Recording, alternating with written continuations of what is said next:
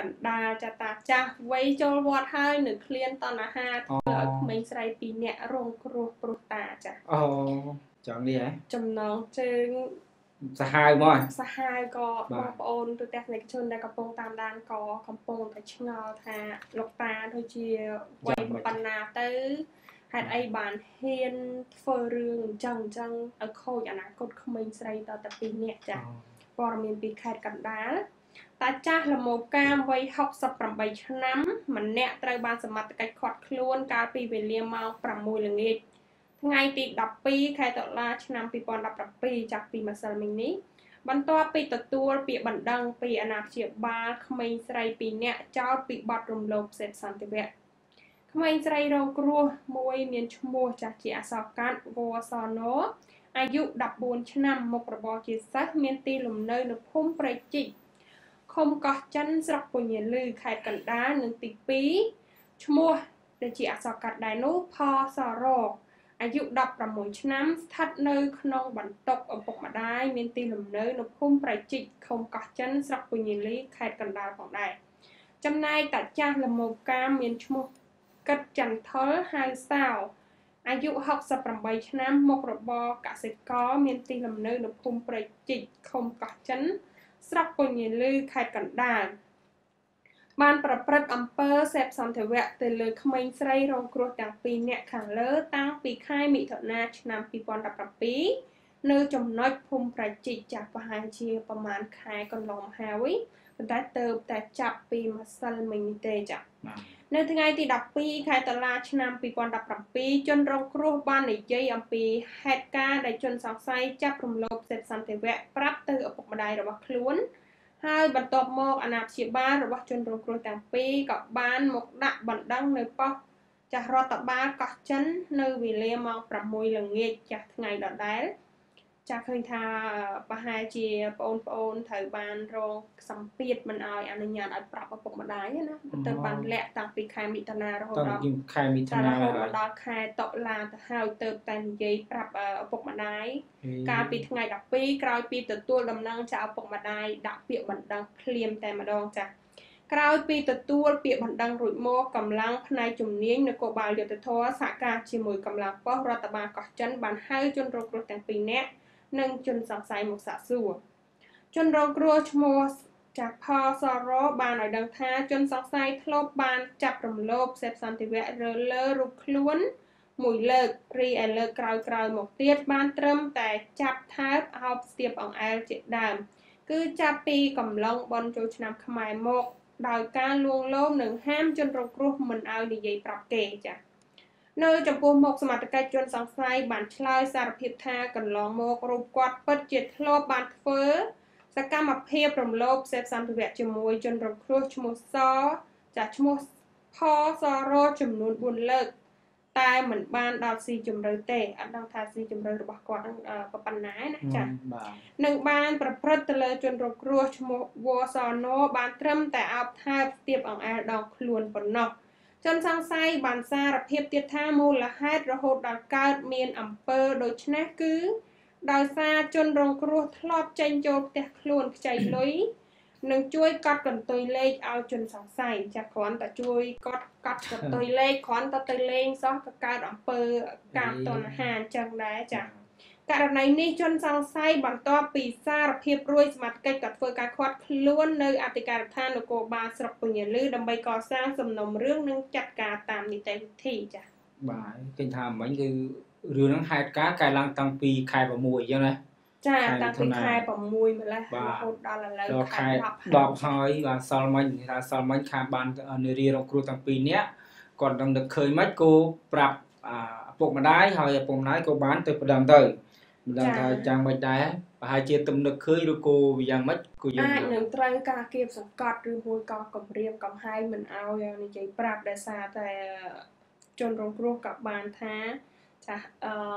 ជនសង្ស័យហ្នឹងហាមមិនអនុញ្ញាតឲ្យប្រាប់នរណាទេដូច្នេះហើយប្រហែលជាគម្រាមឬមួយក៏មានលក្ខខណ្ឌយ៉ាងណាដែលធ្វើឲ្យបងស្រីទាំងពីរចាអត់ហ៊ាននិយាយប្រាប់ឪពុកម្ដាយអត់ហ៊ាននិយាយអំពីហេតុការណ៍ដែលកើតឡើងទៅតែថ្ងៃនេះប្រហែលជា គាត់សម្រេចចិត្តដ៏ត្រឹមត្រូវមួយគឺជំរាបក៏ដូចជាប្រាប់ទៅកាន់ម្ដាយឪពុកបងប្អូនទូទស្សនិកជនជាពិសេសនារីនារីវ័យក្មេងណាកុំគិតថាឪពុកម្ដាយរបស់បងប្អូននៅពេលដែលដឹងរឿងអញ្ចឹងហើយសម្រាប់បងប្អូនឬមួយក៏ធ្វើបាបបងប្អូនមិនអាចទេមានតែអាណិតបងប្អូនថែមជួនកាលគាត់ខ្លាចចេះញរចនាគាត់ខ្លាចខ្មាស់គេអញ្ចឹងទៅ បើគាត់ខ្លាចពើប្រាប់ឪពុកម្ដាយទៅឪពុកម្ដាយវាយអញ្ចឹងទៅហើយខ្លាចវាបែកធ្លាយបែកខ្សែអញ្ចឹងទៅប៉ុន្តែគាត់ឆ្ងល់ចេះគាត់បើតើដឹងមិនគឺម្នាក់វ័យ14ឆ្នាំម្នាក់វ័យ16ឆ្នាំចា៎អញ្ចឹងជាវ័យមួយចេះគិតហើយគេវ័យជំទង់គាត់ចេះគិតហើយហេតុអ្វីបានជានៅធ្វើប្រហែសនៅធ្លាក់ក្នុងអលំស្នេហ៍ជាច្រើនសារទៅចាស់ទៀតបាទបើតាមហ្នឹងគឺលោកតាហ្នឹងគឺវ័យ68ឆ្នាំចា៎បាទអញ្ចឹងថាវ័យចូលវត្តវាត្រឹមត្រូវហើយបាទប៉ុន្តែ អេមិនធម្មតាអាចនិយាយថាអាចអាចធ្វើឲ្យនារីវ័យ14ឆ្នាំ16ឆ្នាំលងស្នេហ៍បានមិនដឹងជាប់មុនស្នេហ៍អីក៏យើងមិនដឹងឬក៏វិធីលួមលួមឬក៏វិធីសាស្ត្រមិនក៏យើងមិនដឹងដែរកញ្ញារចនាខ្ញុំតែចង់ទៅរៀនទៅលោកតាទេណាអត់ទេតែទូយ៉ាងណាគឺតាមច្បាប់បាទថាគាត់វ័យចាស់ហើយគួរដឹងហើយដឹងច្បាប់ដឹងខុសដឹងត្រូវយ៉ាងណាគួរថាដឹងថា គ្នាជានារីហើយជាគ្នានៅវ័យក្មេងនៅអីគួរតែអាចថាបាទថាជិះឲ្យឆ្ងាយទៅកុំប្រព្រឹត្តនៅអំពើអញ្ចឹងគឺអឺมันអាចទទួលយកបានទេបើសិនជាជាបរដ្ឋបាទគាត់ដឹងគឺគាត់នឹងស្អប់ខ្ពើមបាទហើយនឹងអឺ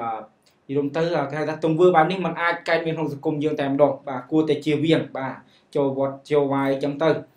បាទអរគុណឥឡូវយើងចូលរឿងមួយទៀតតែយ៉ាងណាកុំឲ្យរឿងហ្នឹងអឺអឺ ច្រំដាវយូរពេកបាទតាក់ទងទៅនឹងខាត់ខ្លួនយុវជន4នាក់បន្ទាប់ពីក្មេងស្ទាវពីរក្រុមដេញវាយផ្អែលនៅម្ដុំផ្សារកុងតឺន័រអូរាជធានីភ្នំពេញយើងនេះបាទសមត្ថកិច្ចខណ្ឌចំការមូនធ្វើការខាត់ខ្លួនយុវជន4នាក់បន្ទាប់ពីមានករណីក្មេងស្ទាវពីរក្រុមប្រដាប់ដោយដាវសាមរ៉ៃដេញវាយគ្នាបង្កជាការភ្ញាក់ផ្អើលយ៉ាងខ្លាំងកាលពីវេលាម៉ោង1 និង00នាទីយប់ឈានដល់ថ្ងៃទី13ខែតុលាឆ្នាំ2017ម្ដុំផ្សារកុងតឺន័រស្ថិតក្នុងសង្កាត់ទន្លេបាសាក់ខណ្ឌចំការមូនតាមប្រភពពីសមត្ថកិច្ចឲ្យដឹងថាយុវជនណាខាត់បានខាងលើនោះឈ្មោះហេងប្រណីអាយុ17ឆ្នាំមុខរបរជាសិស្សស្នាក់នៅសង្កាត់ទន្លេបាសាក់2ឈ្មោះលឹមជូលីភើបាទអាយុ17ឆ្នាំស្នាក់នៅសង្កាត់បឹងតពុន3ឈ្មោះរីសាបុត អាយុ19ឆ្នាំស្នាក់នៅសង្កាត់បឹងតពុននិង4ឈ្មោះអឺសឿងសីឡាអាយុ27ឆ្នាំស្នាក់នៅសង្កាត់ទន្លេបាសាក់សិតតែវ័យ18 19និងវ័យ20 20ជាងគឺថាវ័យជំទង់វ័យសិក្សារៀនសូត្របែបតែពិបាកដែរសម័យឥឡូវហ្នឹងសម័យភ្លើងពណ៌ឈាមរាវអញ្ចឹងទៅអញ្ចឹងគាត់យុវជនខ្លះគាត់ទៅតាមបាទទៅតាមសង្គមសង្គមសបាយកាប់ចាក់អញ្ចឹងទៅញ៉ារចនា បាទសមត្ថកិច្ចបានបន្ថែមថាមុនឈានទៅដល់គាត់ខ្លួនយុវជន4នាក់ខាងលើគឺមានក្មេងស្ទាវពីក្រុមមានទាំងប្រុសមានទាំងស្រី ប្រដាប់ដោយដោយសាមរ៉ៃមានខាងភាគីស្រីចូលទៀតណាបានធ្វើសកម្មភាពវាយតប់គ្នាបង្កជាការភ្ញាក់ផ្អើលយ៉ាងខ្លាំងនៅផ្លូវបំបែកក្បែរផ្សារកុងតឺន័រខណៈពេលនោះសមត្ថកិច្ចគោប្រទះឃើញយុវជនមួយក្រុមជិះម៉ូតូ3ទៅ4គ្រឿងជិះដេញពីវងមួយក្រុមទៀតបាទ ភ្លាមនោះកម្លាំងសមត្ថកិច្ចគោធ្វើការដេញតាមខាត់បានយុវជន4នាក់ខាងលើដើរជនដែលបានជិះម៉ូតូចំនួន2គ្រឿងម៉ាក Honda Dream C125 ពណ៌ខ្មៅដប់គ្នាហើយសមត្ថកិច្ចគួរធ្វើការសួរនាំភ្លាមភ្លាមតែម្ដងគណៈពេលដែលសមត្ថកិច្ចសួរនាំនៅកន្លែងកើតហេតុក៏មានយុវជនម្នាក់ក្នុងចំណោមនោះបានចេញមុខមកបកស្រាយថាពួកគាត់មិនមែនជាអ្នកវាយគ្នានោះទេ មុនពេលកើតហេតុពួកគាត់បានមានគ្នា4នាក់ហ្នឹងបាននាំគ្នាជិះម៉ូតូមកទិញផ្លែឈើនៅម្ដុំ Nagavel គណៈពេលទិញរួចបានជិះចេញមកបំរុងទៅផ្ទះលុះមកដល់ចំណុចផ្លូវបំបែកក្បែរផ្សារកុងតឺន័រគូឃើញក្មេងស្ទាវមួយក្រុម មានគ្នា6ទៅ7នាក់បើអើសំទោសមិន2នាក់6ទៅ7ម៉ូតូដេញតាមវាយយុវជនពីម៉ូតូហើយស្រែកឲ្យឈប់ឈប់ភ្លាមនោះ ពួកគាត់ក៏បានឈប់ស្រាប់តែក្មេងស្ទាវមួយក្រុមនោះនាំគ្នាមកដេញវាយពួកគាត់វិញដោយឃើញសភាពបែបនេះពួកគាត់ក៏នាំគ្នាជិះម៉ូតូរត់គេចចូលមកឲ្យសម្ដេចអឺបាទចូលមកឲ្យសមត្ថកិច្ចជួយជួយអន្តរាគមន៍ប៉ុន្តែសមត្ថកិច្ចបាយជាចោតពួកគាត់ថាជាអ្នកវាយគេទៅវិញហើយបច្ចុប្បន្នយុវជនទាំង4នាក់ខាងលើត្រូវបានសមត្ថកិច្ចប៉ុស្តិ៍នគរបាលទន្លេបាសាក់ធ្វើការឃុំខ្លួនជាបណ្ដោះអាសន្នសិនដើម្បីធ្វើការសាកសួររកដើមហេតុបន្តស្រាវជ្រាវបន្តបាទ តែទោះយ៉ាងណាគេថាគឺមិនទាន់មិនទាន់ហៅថាជាប់ទោះទេនៅការសាកសួរនាំដល់ឡាវតែអ្វីដែលឆ្ងល់នោះគឺថាម៉ោង1រំលោះទៀតយប់ហើយគាត់ហេតុអីមកឃ្លានផ្លែឈើពួកយប់បាទនេះជាការឆ្ងល់ប៉ុន្តែគាត់គូបានបកស្រាយថាគាត់មិនមែនជាក្រុមវាយគ្នាទេគាត់គឺជាក្រុមរងគ្រោះដែលត្រូវគេដេញវាយដែរបាទតែយ៉ាងណាបងប្អូនបាទម៉ោង2តម៉ោង1ចូលសម្មានទៅកុំកុំចេះជីមករកទិញផ្លែឈើឬក៏ឃ្លានយប់ ជីចេញមកទិញស្អីស្អីអីចឹងគឺបាទពិបាកណាស់បើសិនជាកើតហេតុចឹងចឹងពេលដែលសមត្ថកិច្ចគាត់ដេញចាប់បើសិនជាយើងរកគ្រោះគួរមិនដឹងធ្វើម៉េចដែរបាទកញ្ញារចនាមិនចេះកញ្ញារចនាចាបន្ទាប់ពីព័ត៌មាននៅខាងរាជធានីភ្នំពេញបងវាយអារម្មណ៍ប្រិមត្តទៅកាន់ខេត្តបន្ទាយមានជ័យវិញចាលោកស្រុនអានព័ត៌មានគេវាយគ្នាសើចា បងប្អូនទៅទេសង្កេតជននាងខ្ញុំពេលខ្លះចម្លែកដែរលោកស្រុនចម្លែកគេវាយគ្នាគ្នានោះចង់វប់ចង់រស់ហើយខំរត់លភ័យលោកស្រុនអង្គុយសើចាអើអត់បានសើចទេខ្ញុំមិនបានសើចណាមានកញ្ញារចនាសោចបើញុះខ្ញុំអត់បានស្មានទេចាឥឡូវចូលទៅកាន់ព័ត៌មានខេត្តបន្ទាយមានជ័យចា ចំនួនទឹកភ្លៀងជន់លិចស្រូវប្រជាកសិករ4ស្រុកក្រុងអស់ចាស់ច្រើនមែនទែន1835ហិកតានៅខេត្តបន្ទាយមានជ័យចាច្រើនមែនទែន1000ហិកតាជាងជិត2000ទៅហើយឃើញថាកាលពីប្រហែលថ្ងៃប្រហែលអាទិត្យមុននេះយើងមានភ្លេចនៅខាងបាទនៅខេត្តបន្ទាយមានជ័យដែរជ័យដែរបាទឥឡូវបន្ទាយមានជ័យបន្ទាយមានជ័យទៀតហើយប៉ុន្តែហាក់បីដូចជាសភាពទឹកភ្លៀងនៅខាងរាជធានីភ្នំពេញយើងដូចជាអត់ អត់មានអីជាធំដុំគួរកត់សម្គាល់ទេណាចាប៉ុន្តែនៅខាងបន្ទាយមានជ័យវិញចា4ស្រុកក្រុងទៅហើយចាអស់ជាង1000ហិកតាទៅហើយពិតជាច្រើនមែនតើចាចំនួនទឹកភ្លៀងជន់លិចស្រូវប្រជាកសិករ4ស្រុកក្រុងអស់1835ហិកតាភាគច្រើនប្រភេទស្រូវស្រាលហើយបន្តចាលិចនៅតំបន់ភាគខាងក្រោមបន្តទៀតនៅខេត្តបន្ទាយមានជ័យ លោកប៉ាងវណ្ណសេតប្រធានមន្ទីរកសិកម្មរុក្ខាប្រមាញ់និងនេសាទខេត្តបន្ទាយមានជ័យបានប្រាប់នៅថ្ងៃទី13ខែតុលាឆ្នាំ2017ថារហូតដល់ពេលនេះចំនួនទឹកភ្លៀងបណ្ដាលជន់លិចស្រូវប្រជាកសិករ4ស្រុកក្រុង មានស្រុកម៉ាឡៃស្រុកអូជ្រៅចាស់សេរីសុភ័ណ្ឌនិងមង្គលបុរីហើយស្រូវដែលកំពុងរងផលប៉ះពាល់ភាគច្រើនប្រភេទស្រូវស្រាលដែលធ្វើចាស់លើកទី2 លោកបានបញ្ជាក់ថាស្រូវដែលលិចប្រភេទស្រូវស្រាលនេះបើស្រូវដើមខ្ចីទៅនឹងព្រួលចាបើសិនលិចចាប់ពី2ទៅ3ថ្ងៃអាចខូចបាន តែបើស្រូវដើមរឹងចាប់ពី7ទៅ10ថ្ងៃទៅខូចដូច្នេះអាស្រ័យទៅលើអាកាសធាតុបើរយៈពេលខាងមុខมันមានភ្លៀងធ្លាក់ជាប់គ្នាទឹកអាចស្រកវិញលឿនចាស់លោកចង់ជម្រាបថាបើសិនជា ទឹកស្រកវិញលឿនទៅវាមិនប៉ះពាល់ខ្លាំងទេដោយសារតែស្រូវអាចមានដង្ហើមពី2ទៅ3ថ្ងៃដែរដោយសារស្រូវនៅដើមខ្ចីចាស់លោកនាងហៅអភិបាលរងក្រុងសេរីសុភ័ណ្ឌបានបញ្ជាក់ថានៅក្រុងសេរីសុភ័ណ្ឌទឹកកំពុងជន់លិចស្រូវអស់ចំនួន100ហិកតាដែលកំពុងប៉ះពាល់មាននៅសង្កាត់មកៈទឹកថ្លាអូអំបិលនិងសង្កាត់ព្រះគុលាដែលអាជ្ញាធរកំពុងបើកទ្វាររំដោះទឹក ដោយយោងតាមរបាយការណ៍មន្ទីរធនធានទឹកនិងឧតុនិយមខេត្តបន្ទាយមានជ័យបានរាយការណ៍ជូនខេត្តនៅថ្ងៃទី13ខែតុលាឆ្នាំ2017នេះកម្រិតទឹកនៅខាងអូខៃដនក្រុងប៉ោយប៉ែតមានកម្ពស់ចាស់4.33ម៉ែត្រប្រកាសអាសន្នចាស់ទឹក5ម៉ែត្រនិងស្ទឹងសេរីសុភ័ណ្ឌក្រុងសេរីសុភ័ណ្ឌកម្ពស់ទឹក6.93ម៉ែត្រ ប្រកាសអាសន្ន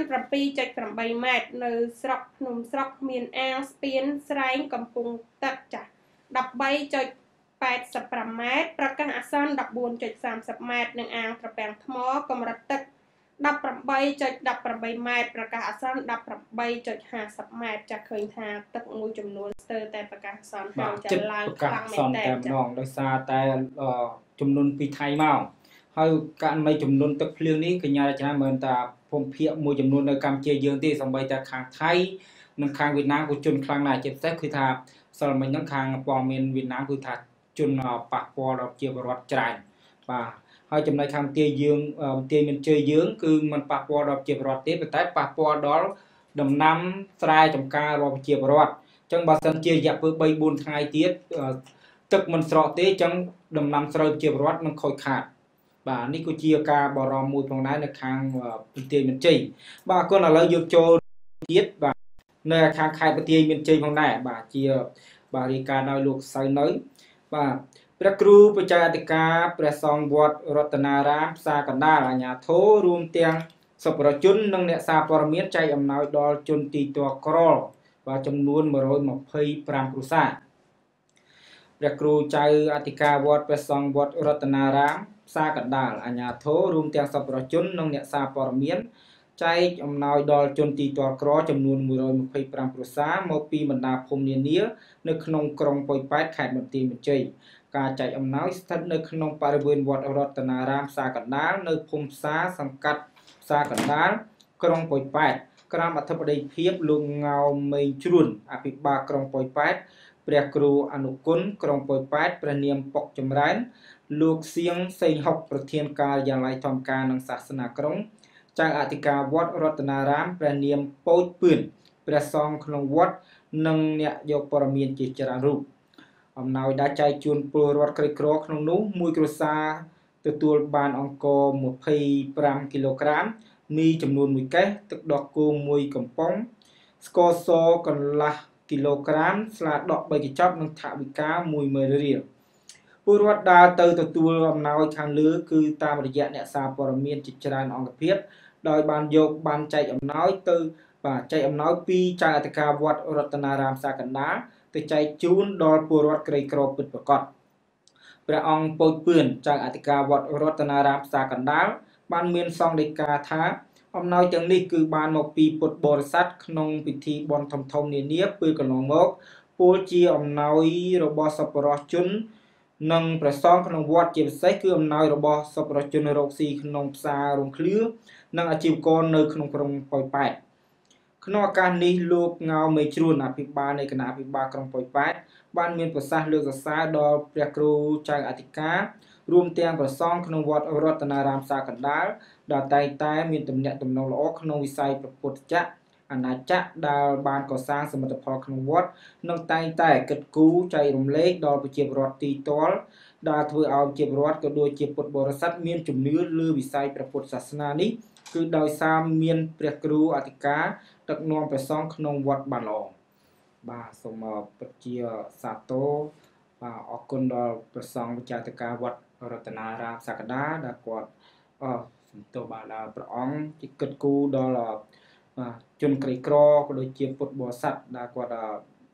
មានផលលំបាកនៅក្នុងខេត្តក្រុងឬក៏តំបន់អញ្ចឹងទៅញរចនាចាឃើញថាខេត្តក៏ដូចជាវត្តមួយចំនួនណាស្រុនដែលសារ ឥឡូវនេះជារដូវកាលកឋិនទានដូច្នេះហើយមានវត្តមួយចំនួនហ្នឹងឃើញថាមានពុទ្ធបរិស័ទក៏ដូចជាបងប្អូនយើងទៅច្រើនទៅបោអញ្ចឹងទៅច្រើនប៉ុន្តែក៏មានខេត្តមួយចំនួនទៀតចាស់ស្ទើរតែដាច់ចំណាយហើយចាស់ខ្សត់ណាស់បាទដូច្នេះហើយបើសិនជាបងប្អូនដែលមានបំណងចង់ធ្វើបុណ្យធ្វើទានក៏ដូចជាហែអង្គកឋិនទាននោះសូមមេត្តាជួយរកវត្តណាដែលខ្វះខាតនៅ ចង្ហាន់ខ្វះខាតនៅការអភិវឌ្ឍក៏ដូចជាការកសាងផ្សេងផ្សេងចា៎បាទអរគុណនេះថាបបគឺវត្តដែលនៅចិត្តខេត្តនៅតាមតំបន់មានប្រជាពលរដ្ឋនៅច្រើនណាចា៎បាទឬក៏នៅក្នុងរាជធានីឬក៏នៅចិត្តក្រុងចឹងទៅតែវត្តដែលខ្វះខាតវិចារនៅតំបន់ដាច់ស្រយាលជាពិសេសនៅតំបន់ជាយខេត្តខាងបាត់ដំបងជាយខេត្តខាងបទាយមានជ័យបាទហើយ